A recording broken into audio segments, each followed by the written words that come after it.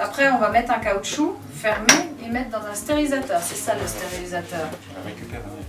Donc, euh, un thermomètre qui est mis là.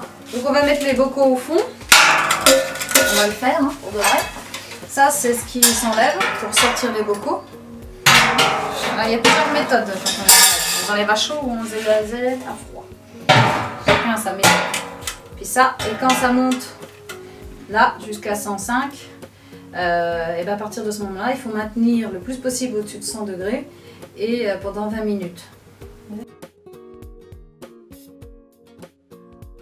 Déjà, ils sont prêts, il y aura juste à rajouter le caoutchouc. Donc, le caoutchouc, on va le passer à l'eau chaude avant de le mettre. Et faut juste qu'on regarde un truc, c'est combien il va en tenir.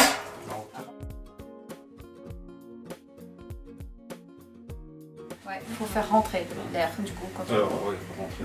C'est à utilisation unique ces trucs-là. Unique. Et, Et, et ça, ceux-là ça vaut aussi. 1 euro pièce. Ah oui. Ah, quand même. Alors, tu pleures un peu